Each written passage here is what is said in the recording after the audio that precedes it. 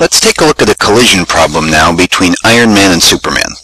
Iron Man, with a mass of 350 kilograms, is flying north at a velocity of 60 meters per second when he collides head-on with the distracted 100 kilogram Superman, who is flying south at a velocity 100 meters per second.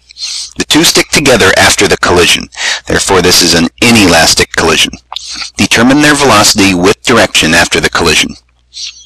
Well, anytime I see this sort of problem, the first thing I do is I make a momentum table and look at what I have with my problem.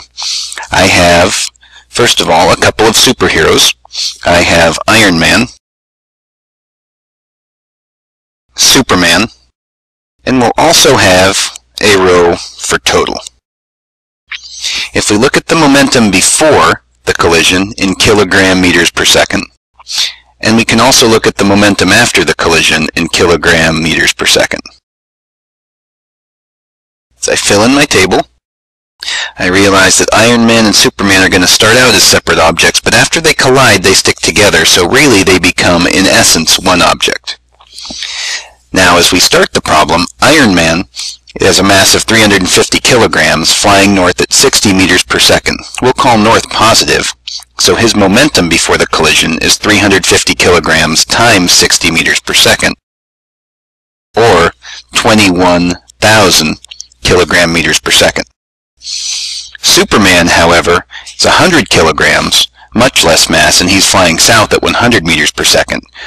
Realize we need to put a negative sign in front of our velocity to the south because that's in the opposite direction as the velocity of Iron Man. So that's going to be 100 kilograms times negative 100 meters per second, or negative 10,000 kilogram meters per second. Now, after the collision, we realize these two stick together, so their combined mass is going to be 450 kilograms times some final velocity we don't know yet. We'll call that VF. Now I just add up my columns for totals. Iron Man 21,000 plus Superman negative 10,000 gives us a total momentum before the collision of 11,000 kilogram meters per second. After the collision, all we have is 450 kilograms times some final velocity. And the law of conservation of momentum says that the total momentum before must be equal to the total momentum after. Therefore, 11,000 equals 450 VF.